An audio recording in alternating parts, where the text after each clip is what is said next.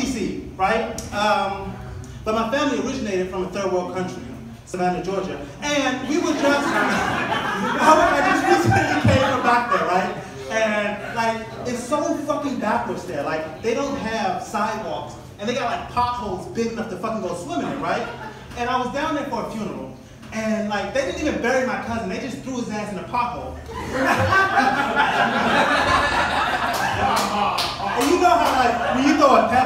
down in the fucking hole to see how far it is, when they threw his ass down, no sound came back up, right? so, his tombstone said, it did say, Marvin is here. Now the motherfucker says Marvin was here. That nigga's gone. Um, but now I live in Baton Rouge, right?